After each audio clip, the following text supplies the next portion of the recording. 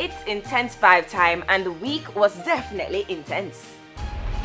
When Talia, that Talia, yeah, this one, Drafia Beres, a Morgan Heritage, and a Shabadub last week on Fame Frequency. Talia. yes. Not even know side them thing that should have gone with it. Yes, very Shabba, Morgan Heritage. Girl, last week we were talking about this and we said, oh, kind of she said, yeah, but I have something up my sleeve. I got some up my sleeve. I have something up my sleeve. Berries. That's a know. very wide sleeve, girl. There were lots of things up there. yes, when you come to chill it, to come to chill it. Cardi B and Offset have not one, not two, but five Christmas trees in their house for the holidays. Why?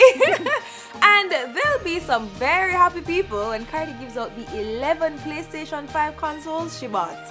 When you have money, why not? And Cardi it, so At all. Why not?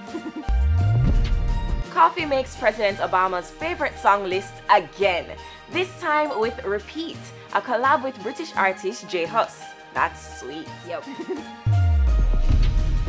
Riri is being sued again this time by a German father-daughter duo who have accused the billionaire artist of using their song in one of her Fenty ads. It's not the first time she's being sued of this, but we'll wait and see, you know, what her response will be like. Okay. And finally holding the spot this week, flights from the UK banned until January. The passengers on the last flight that came in weren't too happy when they found out they had to go into 48 hour quarantine but it's a good thing they did because 20 of them tested positive. That's it for the Intense 5 this week. Send us anything intense happening in your area to our IG at TVJ Intense. Up next, our look back at the interview with Dirt, who's soon forward.